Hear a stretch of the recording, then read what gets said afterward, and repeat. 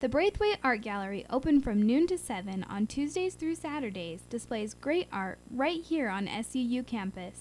We spoke to Eric Brown, head of the art department, to find out more. It's a great resource for for everybody, for the students, but also for the community. It gives people an opportunity to really see what great art is about and and it influences people's work people that like to make art themselves so i think it really enriches the community We also asked Dr. Brown about the current National Geographic photography display.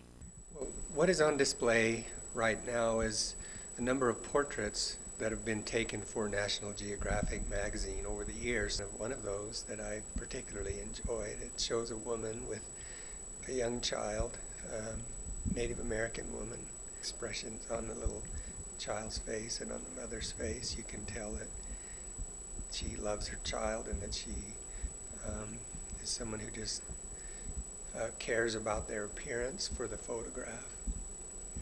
And anyway, it's something that interests me and intrigues me. The Braithwaite Art Gallery is a great way for students to appreciate art, whether by locals or student artists or artists from across the world.